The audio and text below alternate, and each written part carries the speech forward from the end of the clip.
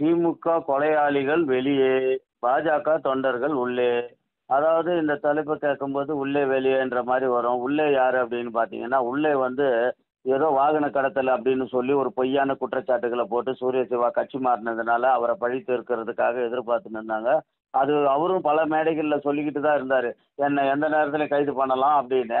அதுக்காக திட்டமிட்டு ஒரு பொய் வழக்கு போட்டு சூரிய சிவாவை கைது பண்ணிட்டாங்க. அதே மாதிரி அந்த திருச்சியில் இருக்கக்கூடிய ஒரு பாஜக தலைவர்னு நினைக்கிறேன். அந்த மாவட்ட தலைவர் அவரையும் சேர்த்து கைது பண்ணிட்டாங்க.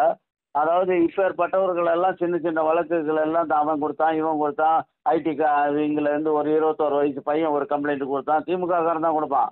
இவங்கெல்லாம் கொடுத்தா உடனே ஆக்ஷன் எடுப்பாங்க. தேடி போய் பிடிப்பாங்க. மாரிதாஸை எப்படி விரட்டி போய் பிடிச்சாங்க.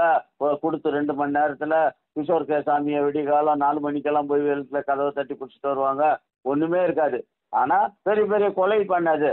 நேரு அவர்கள் வந்து ஒரு இடத்துல சொல்றாரு நான் ஒன்பது கொலை வழக்கு இப்போ கூட கேஸ் நடந்துகிட்டு இருக்கு அப்படின்னு. ஒன்பது கொலை வழக்கு அப்படின்னு. அப்ப இவர் எவ்வளோ பெரிய பெரிய கொலைகாரர் லிஸ்ட்ல இருக்கிறாரு போல. அதே வேற மேடையில் பெருமையாக சொல்லிட்டு இருக்காரு ஒன்பது கொலை வழக்கில் நான் எ- என் பேரில் கேஸ் நடந்துகிட்டு இருக்கு நாங்கெல்லாம் இதுக்கு பயப்பட மாட்டோம் அப்படின்னு.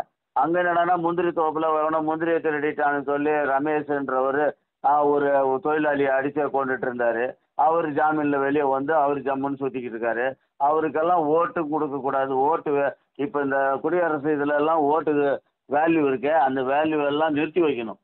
இந்த மாதிரி குற்றவாளிகளுக்கெல்லாம் அந்த சலுகைகள் எல்லாம் பறிக்கணும். அப்படின்னு இல்லை. இந்த மாதிரி கொலைகாரன் கொலை பண்ணவன் ஒன்பது கேஸ் உள்ளவன் கொலை பண்ணவன்லாம் வெளியில் சுற்றுறான் இங்கே ஒன்றுமே அதை பாஜக தொண்டனை வந்து எழுப்பி கூட்டிகிட்டு போயிடுறாங்க.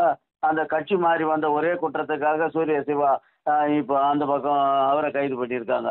ஆக மொத்தம் ஆக மொத்தம் வந்து இப்போ அதாவது திமுக ஆட்சியில் இப்போ சூரிய சிவா பெரிய வேற ஏதாவது பெரிய மர்டரில் இன்வால்வ் ஆயிருந்தா கூட அவரை விட்டுற வெளியில் சுத்த விட்டுருப்பாங்க. அவங்க கட்சியில் இருந்தா. ஆனால் கட்சி மாறினதுனால அவரை வந்து இந்த சின்ன விஷயத்துக்கே இப்போ கைது பண்ணி பழி தீர்த்துக்கிட்டு இருக்காங்க. ஆனால் எல்லாம் சொல்லியிருக்காரு அண்ணாமலை. பார்த்துக்கிட்டு தான் இருக்கோம்.